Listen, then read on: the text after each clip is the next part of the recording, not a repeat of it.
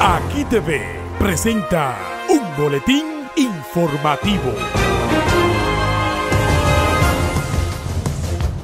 Amigos? Gracias por estar con nosotros. El Consejo del Poder Judicial suspendió sin disfrute de sueldo a los tres jueces de la Cámara Penal de la Corte de Apelación de la provincia de Santo Domingo que anularon la condena de ocho años de prisión dictada contra Winston Rizik Rodríguez, acusado de narcotráfico y lavado de activos. Continúe con nosotros y espere nuestro próximo breve informativo.